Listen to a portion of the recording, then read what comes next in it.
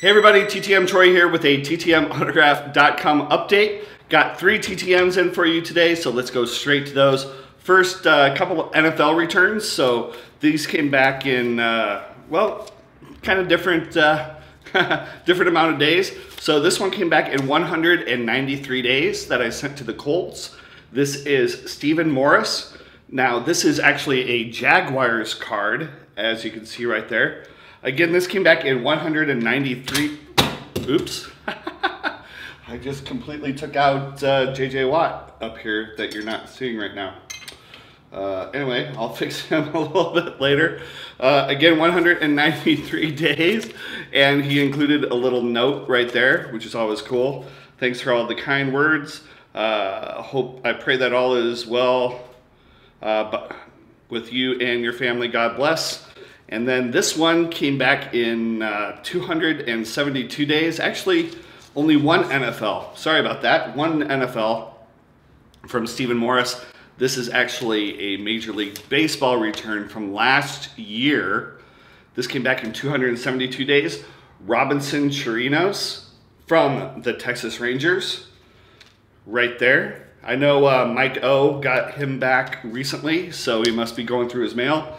Um, again, this came back in 272 days from last year. And finally today, this came back in 64 days from Angel Spring Training. Misplaced the card, so just getting around to it now. Uh, Mr. Dustin Ackley, right there from the Mariners.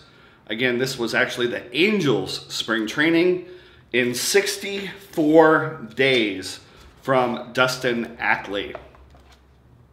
So anyway, guys, hope everybody is doing well. I am going to VidCon in a couple weeks. So if anybody here is going to VidCon, let's try to do something. I don't know if anybody here is interested in VidCon. If you're watching these videos on YouTube, even if you're, or maybe uh, a creator on YouTube, but VidCon is the place to go for YouTube creators. So I'm really happy to be going back again.